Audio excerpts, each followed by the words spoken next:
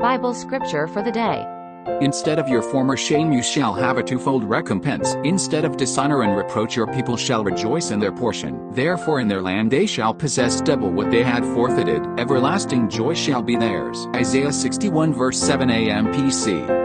Dear Jesus, thank you for being my everlasting joy. Lord, I look forward to the new season in my life, filled with your twofold recompense, replacing all my shame, dishonor, and reproach. Sweet Jesus, please anoint me to have the right mindset, attitude, focus, concentration, discernment, knowledge, and wisdom I need to have in this season. Please also bless me with good resources, finances, skills, talents, opportunities, business strategies, alliances, and relationships that I need so I can grow and do all the things according according to your will as it is written in heavens. Lord, thank you for blessing me with double for all my losses and redeeming me. I will praise, honor, and worship you for all eternity. In the awesome name of Jesus I pray, amen. Presented by ECIM.